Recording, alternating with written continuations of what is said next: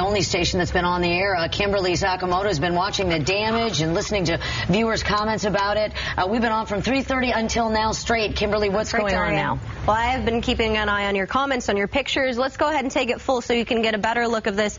Right here, our photographer, Andy Shepard, took this out in the field in Oakland. Let's zoom in for it. That is actually an ABC7 van, and as you can see uh, with the soot on top of the hood of the car, that some explosive device just exploded on top of it. You can see all that soot just spread out, and when we zoom in a little bit further in, you can see that somebody tried to write something in there saying flashbang question mark, so we're not sure if it was a flashbang police device or if it was an illegal firework set off by rioters or protesters. The next picture we have for you, and again, it's an ABC7 van. I found this one on Twitter. The reporter was actually in the van when the van was vandalized. You can see the windshield just completely smashed. And our next picture for you, also found on Twitter, this is the Sears building in Oakland. As we have reported before, the windows of that store were smashed. You can see people standing in front of there.